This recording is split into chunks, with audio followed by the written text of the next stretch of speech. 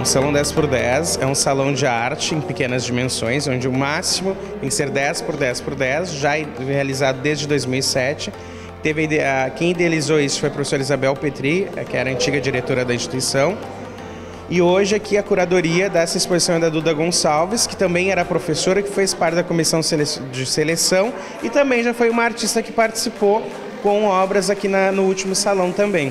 Eu estou aqui hoje como convidado da, da, instituição, como um artista mediador, como artista convidado da exposição, pelo fato de já ter trabalhado já dentro da Galeria de Arte, período da graduação, e ter, ter participado quatro vezes dessas cinco edições do Salão 10 por 10 né?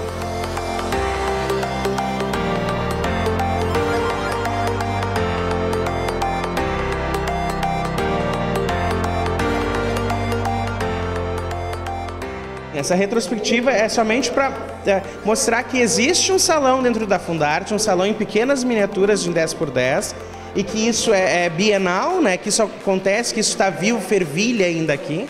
E se eu não me engano, ano que vem é ano de salão 10 por 10 e quem sabe estaremos aqui novamente, né?